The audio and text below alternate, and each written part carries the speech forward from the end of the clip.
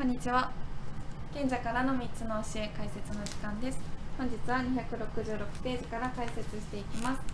この語録18最高の人生とは死ぬ時に悔いなしと思える人生である。人生の目的を何に設定するかで人生の中身は大きく変わる。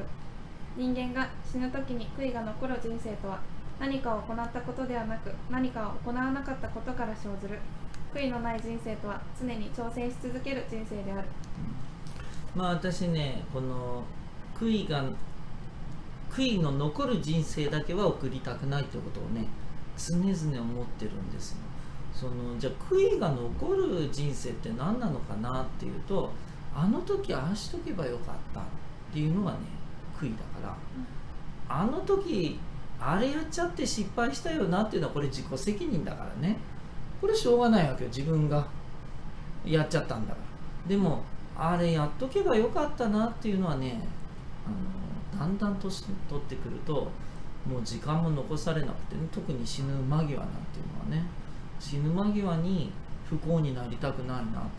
死ぬ間際こそねああ充実した人生だった。もう二度と生まれ変わりたくない。って思いたいの。あの時が良かったとかね。もう十分に生きたそう思える人生が迎えられるかどうかを常にテーマ選定して生きてるの。私は。そうするとね毎日充実して楽しめるんじゃないかな本当の幸福が得られるんじゃないかなと思ってる。ここがポイント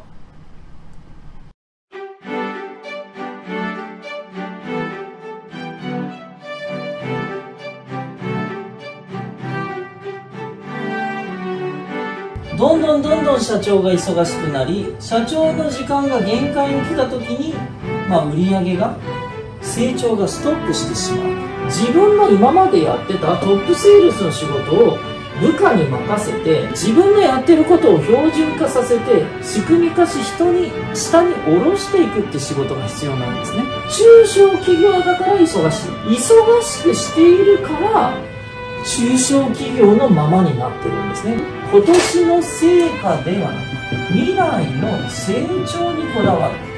どっちに経営者はこだわる？成長にこだわれば短期的な痛みっていうのは受け入れられるんです